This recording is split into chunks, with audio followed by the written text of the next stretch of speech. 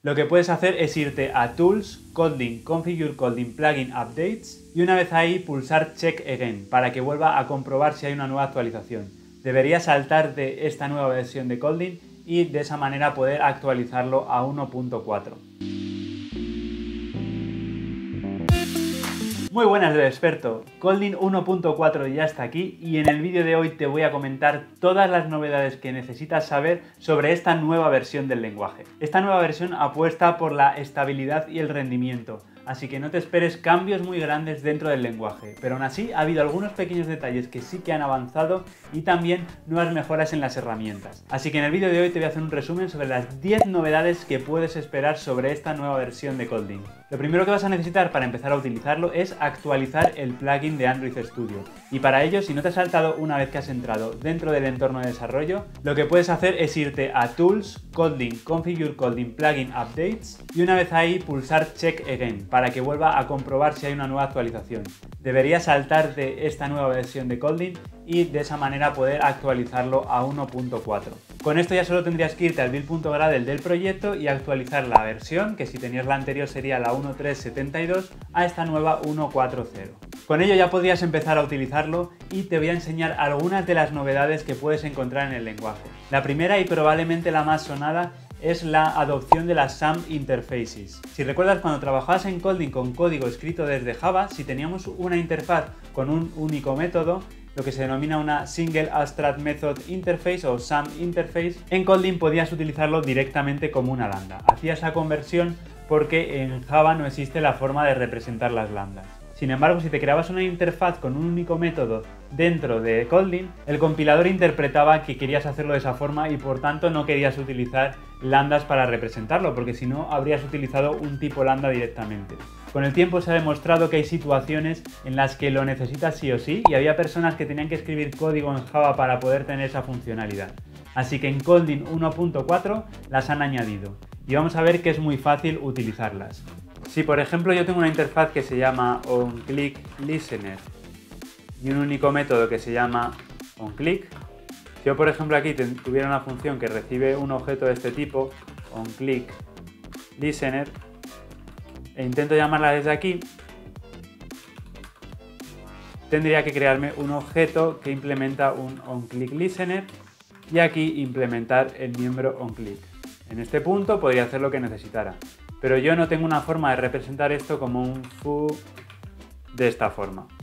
Sin embargo, para poder utilizarlo de ese modo, ahora lo único que tengo que hacer es escribir la palabra reservada fan aquí por delante. Estas interfaces también se denominan function interfaces o interfaces función. Y de esta forma, como ves, este código ya compila y aquí nos recomienda que lo modifiquemos por una lambda. Así que si alguna vez te ves en la necesidad de hacer algo así, que sepas que existe esta funcionalidad. La segunda novedad con la que nos encontramos es que ahora existe un API explícito para librerías.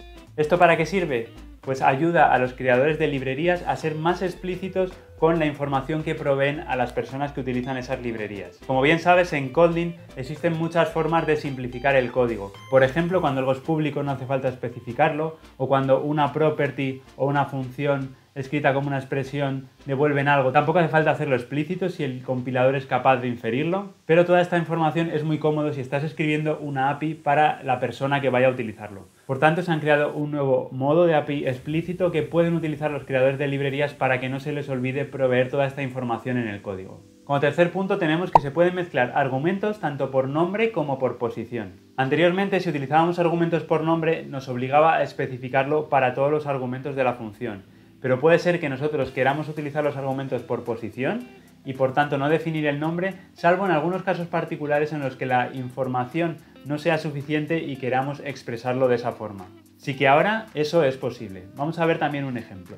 Imaginemos que aquí tengo yo otra función que recibe name de tipo string, age de tipo entero interrogación, porque puede ser que a veces no se defina, y address de tipo string también. Nosotros podemos identificar mediante named arguments o argumentos nombrados que esto es la edad y que le estamos dando el valor nulo. Por ejemplo, si hacemos foo, tom, null y street, Aunque aquí el IDE nos ayuda, si esto lo leyéramos con alguna herramienta externa no tendríamos información sobre qué es este null, así que lo que podemos hacer es nombrarlo y decir este es el argumento age y le estoy queriendo dar el valor null aquí. De esta forma a la persona que lo lee le queda muchísimo más claro lo que está ocurriendo aquí y cuál es ese argumento. Otra novedad curiosa que tenemos es que ahora podemos poner comas al final de los argumentos o al final de un listado de elementos y seguirá compilando. Anteriormente si poníamos la coma al final del último argumento o del último elemento de un listado nos daría error porque al ser el último no necesita una coma porque no viene nada después.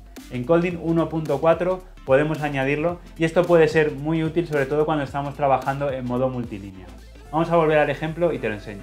Imagina que yo en vez de tener escrito esto aquí lo, así, lo tengo así y que yo ahora quiero poner una coma aquí al final. Como ves, Kotlin 1.4 no nos va a dar error. Esto en Kotlin 1.3 no sería posible. Aquí quizá esto es un poco raro, pero imaginemos que tuviéramos un var aquí que nos permite añadir tantas eh, cadenas de, de como queramos. Ahora simplemente con duplicar esta línea podríamos escribir tantas como necesitáramos. O si nos estamos creando un listado de, algo, un listado de strings, si yo me tengo que andar preocupando en cada línea de si esta va a ser la última o no, pues siempre tengo que ir con mucho cuidado y actualizando si añado un nuevo valor, actualizando la línea anterior, dejando la última sin, esa coma. Ahora mismo simplemente podríamos hacer lo mismo que antes y no tendríamos ningún problema o incluso si queremos sustituir estas dos y ponerlas más arriba, pues tampoco hay problema. Todo este funcionamiento es directo gracias a que podemos poner una coma al final. También ha habido muchas mejoras con el uso de referencias a funciones. Anteriormente había ciertas limitaciones que ahora se han ido solventando. Por poner algún ejemplo, antes no se podían utilizar referencias a funciones si esas funciones incluían valores por defecto. Ahora la función se adaptará en función de las necesidades del lugar en el que se utilizan. Lo mismo ocurre con los varargs, como en el ejemplo que hemos visto antes, si tenemos argumentos que pueden recibir un número ilimitado de elementos, ese número se puede adaptar a la estructura de las lambdas que estén esperando ciertas funciones o ciertas variables en otros puntos del código. Y también ha habido algunas optimizaciones en cuanto a argumentos que esperan funciones de tipo suspend. Además tenemos como sexta novedad que se ha añadido un depurador de corrutinas.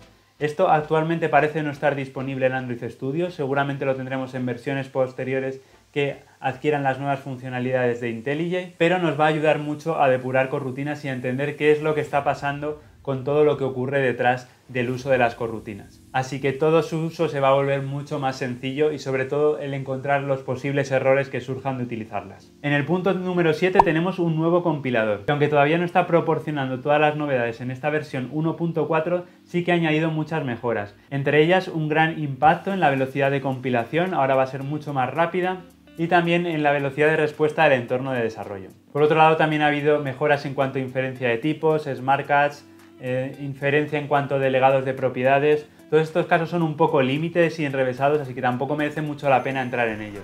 Cuando lo uses de forma natural, el compilador te ayudará a hacerlo de la forma más eficiente posible. En el punto número 8 tenemos mejoras específicas en cada una de las variantes de Colding.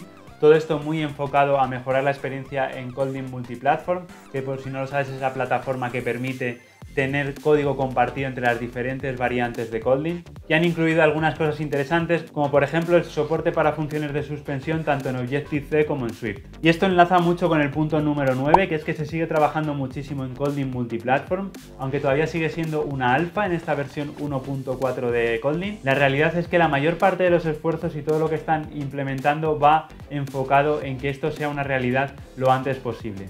Hay mucho trabajo detrás y por eso se está tardando tanto tiempo, pero puede ser una revolución en el mundo del desarrollo el que un lenguaje pueda funcionar y compartir código entre plataformas tan heterogéneas. Y como punto último, el punto número 10, hay pequeñas mejoras también en la librería estándar de Kotlin. Como en toda versión, la librería estándar sufre modificaciones, se añaden algunas cosas que son útiles y se deprecan otras que no lo son tanto, y esta no es una excepción. Sí que es verdad que no hay muchas novedades a destacar en este caso, salvo algunas nuevas funciones sobre colecciones y sobre este tipo de datos. Así que como ves, Kotlin 1.4 es una versión muy continuista, muy basada en el rendimiento y en la estabilidad, y nos vamos a encontrar en general con un lenguaje más rápido, que compila mucho más rápido. El entorno de desarrollo también responde de una manera mucho más eficiente y nos da herramientas extra que nos van a permitir mejorar y ser más efectivos con el lenguaje. Así que no sé, déjame en los comentarios cuál es la novedad que más te ha gustado, cuáles crees que son las que más vas a usar en tu día a día y si estás empezando con Kotlin y quieres convertirte en un experto, te recomiendo que te unas a mi masterclass gratuita donde te voy a dar la situación de Kotlin en el mercado, así como los primeros pasos para empezar y cómo sacarle el máximo partido al lenguaje. Apúntate tanto en la descripción como en el primer comentario y espero verte en la próxima sesión. Y como siempre, si te ha gustado este vídeo, suscríbete, haz like, dale a la campanita, porque de esa forma me ayudarás a que el canal siga creciendo. Te dejo aquí también todas las novedades sobre Android Studio 4.0 en caso de que todavía no las conozcas y nos vemos en el siguiente vídeo. Un abrazo.